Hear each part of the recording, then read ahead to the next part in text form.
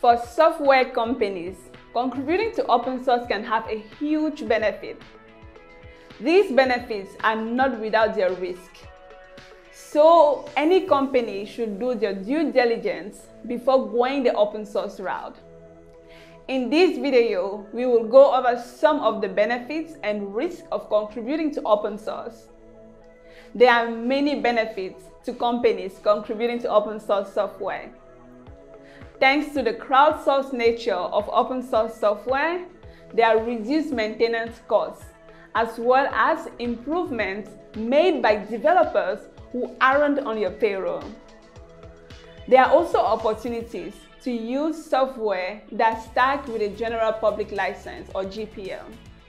This can streamline the development process by allowing you the freedom to use code that's not someone else's IP although there may still be costs to access the code.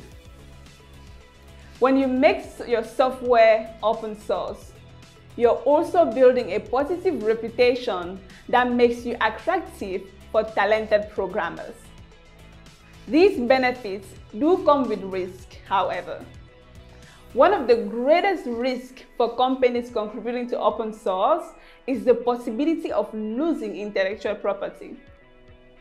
Even if a piece of software isn't a company's competitive advantage, you still run the risk of having critical piece of code leaking into the open.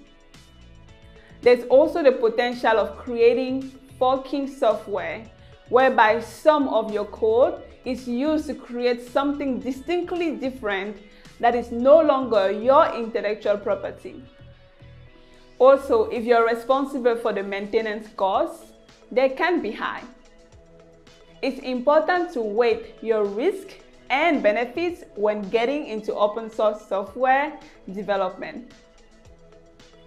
While benefits can outweigh the risk, knowing what these risks are, taking precautionary measures, and doing a proper cost slash benefits analysis can tell you if you if open source software is right for your company.